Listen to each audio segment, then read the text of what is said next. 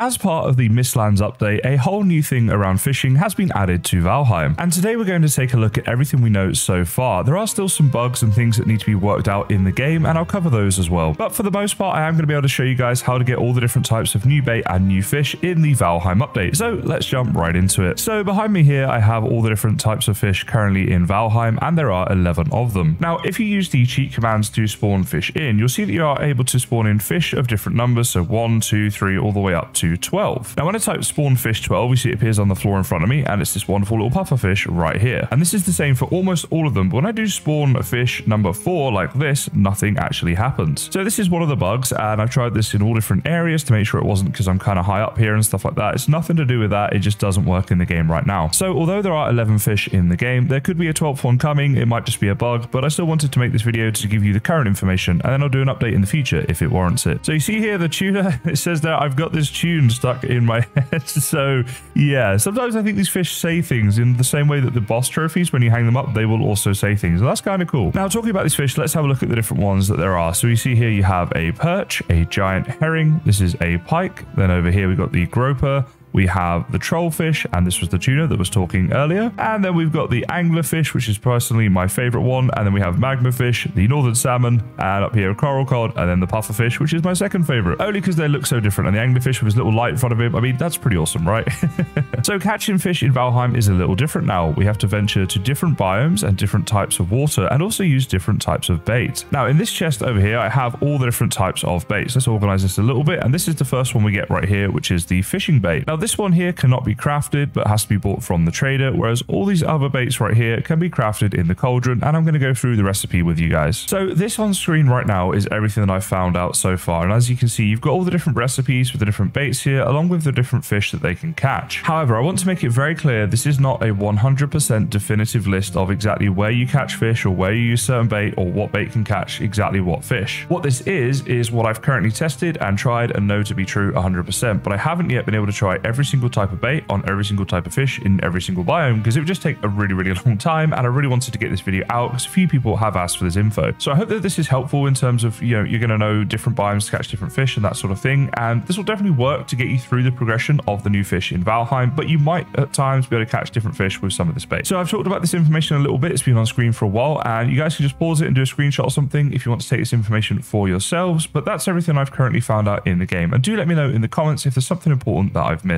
Now, something interesting when it comes to the different baits and biomes is, again, in cheat mode, if I want to spawn in the bait, you'll see here I have different options. So the first one is fishing bait. We're not going to worry about that. That's just the one we buy from Haldor. But if I just press tab and go through here, they're actually listed by their biome. So as you can see, we have Ashlands and we have Cave and we have Deep North and stuff like that. Now, when I say cave, by the way, in the frost caves that you can find in the mountain biomes, very rarely, but occasionally you can find these caves that will have giant lakes in them. And now in these giant lakes that are in these caves, you can find fish. Now, this is super, super rare, so don't expect to find it very often, but it's a real treat if you do find it, so definitely earmark the location on your maps and look after it because it's a pretty cool place to go and fish. But as you can see from this spreadsheet right here, if I spawn in the different baits in game, the Ashlands translate to the hot bait, if I spawn in cave, it's cold bait, the deep north is frosty bait, and so on and so forth. So I think it's clear that there is a relationship between the biome and the bait, and that's certainly how the developers see it. And maybe occasionally you can get fish that go to certain biomes that they're not found as commonly in and that kind of thing. But if you use this table in conjunction with the previous one, then you're probably off to a pretty good start as to where the certain types of fish are going to spawn and the type of bait you need in that biome in order to catch them. So again, you can take a screenshot of this if you like, hopefully something kind of helpful there if you guys are really into your fishing. So I'm in the cauldron here and these are the different types of bait and their recipe and how you unlock each of these baits was on the previous screen where I you know put that sort of spreadsheet up. But as you can see for each one of these baits, you do only need the cauldron to be at level one. So all that means is as soon as you have a cauldron above a fire, if you have the other ingredients that they require, you can make each of these different types of baits. And of course, if you need to buy more of the original bait that you start the game with, then you can go back to Haldor at any time to buy that, and it has no unlock in the first place. You can get that as soon as you join the game, as soon as you find Haldor and have the money, you can buy that. Now, to get started with your fishing, you will need a fishing rod and of course some fishing bait, and all that can be gained from Haldor as we see here. So a fishing rod is 350 and 50 of the first type of bait is 10, so 360 coins are required to get you started with your fishing journey. Now, if you like a video that shows you exactly how to find Haldor instantly in your world, I'm going to put a link in the video description to a video that I made about this. So if I go ahead and press tab and go to skills, you see there is a new fishing skill in the game. Now I created a new character for today's video, which is why I only have a few skills here and they're mostly on zero. So as it says here, as we level up the skill, then the stamina drain and full speed when fishing are improved. So we require less stamina to do fishing and we also fish faster when we level up this skill. But this skill level does not have anything to do with the type of fish you can catch. So with just a level zero or level one fishing skill in the game, you can catch any fish in the game. So when you're fishing, you may be out with a variety of bait. And what you want to do is just right click the type of bait that you want to use. So I'm just going to use the normal fishing bait here right now. And you can see that around here, we can't currently see any fish. But if I go ahead and cast off, then some should appear. Now, I will say I haven't found that this works every single time, but it does seem to work at least maybe three quarters of the time, where even when you can't see fish, once you cast off with the bait on your rod, they do seem to be attracted to it and appear out of nowhere. I will warn you guys that fishing in general in Valheim does require a fair bit of patience, especially if your goal is to catch several of all the different types of fish, as this is going to require a lot of travel and a lot of time. That being said, there is something therapeutic about it. It's kind of nice and relaxing, or at least in my experience it is, and I'd love to know what you guys think of fishing in Valheim. Do let me know in the comments. So I've probably been stood here about 30 seconds and nothing has come uh, because that's just what happens when you make videos.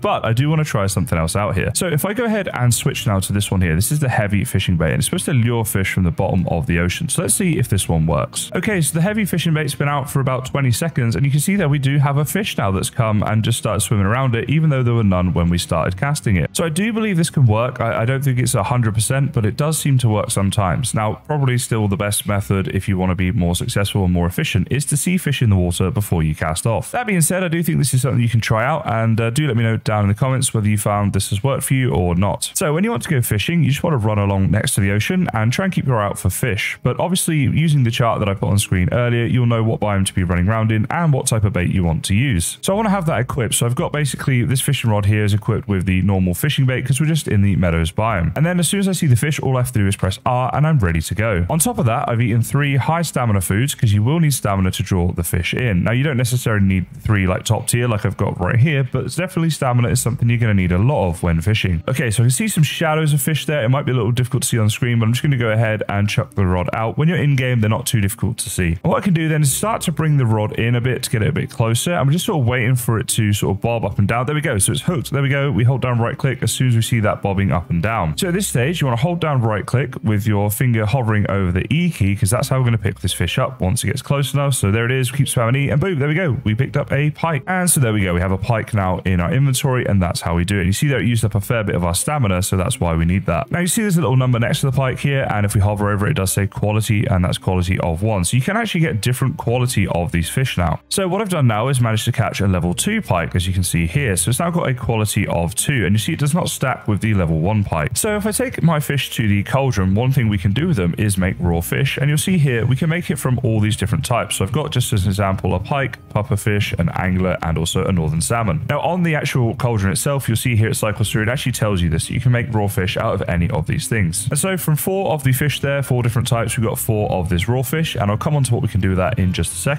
But first I want to show you guys this. So this is the different quality of fish here. We have a pike and it's at level two. So now if I go to the cauldron just here and we want to craft a raw fish and hit craft. Now you see there we went from four raw fish up to eight raw fish. That is huge. Just by having a level two fish that we caught there, it actually gave us four fish in one go. So that's what the different levels of fish mean. And that's why it's great if you get yourself a catch there of a fish that is above the level one. Now, if we come to some cooking stations here, you'll see that we can add our raw fish onto this cooking station here. Just the normal wooden one is fine. If we put it on this one up here, it will still work, however. So yeah, you can use either of them basically and get yourself some cooked fish. So in terms of the cooked fish, you'll see it does give a health of 45 and a stamina of 15, making it a pretty decent health food, especially earlier on in the game. On top of that, the cooked fish can be used in other recipes such as the fish wraps or the new Mistlands recipe, which is the fish and bread. Now, when you're fishing in different biomes, especially, it is very important to keep an eye on what's going on behind you. So if I'm in the plains here, just fishing away, obviously a Deathsquito can sneak up behind me or a Lox or a load of Fuling. So definitely keep an eye on that. And you may even want to make little protected fishing areas, depending on how much fishing you intend to do. This is probably something most of you would have thought of, but if you are new to Valheim or just to help jog your memory, I definitely thought it was worth a mention. Now, just to answer a question that I'm sure some people would have, can you fish from a boat? The answer is yes, and I'm going to show you right now. So here we go. We've hooked our fish and we are just going to hold down right click the same way we would do if we're on land and we got the E button ready to, there we go. We got it. We pressed it down and we picked it up. So we have two of these level two pikes, whereas we just had the one before. Also, you can fish from the little wharfs that you'll see here in the Mistlands biomes, go ahead and just chuck our rod out there, see if we can catch anything. And this can actually be a good strategy in Mistlands. The reason being is all the Dvergr that are around you. So if you get some Seekers that are coming and trying to kill you, the Dvergr will actually attack them. So they'll give you a little bit of defense, basically, in case you keep your back turned for a little bit too long. And on top of that, let's be honest, it is pretty awesome to fish off these new Dvergr wharfs that we find in the different Mistlands biomes. So the dad jokes are of course coming, but I really hope today's video had you hooked. And if it did, then please do consider liking and subscribing for more, helping me to get to 100,000 subscribers. But for now, I just want to say thank you for watching, guys, and I look forward to catching you next time. What do you call a fish with no eyes?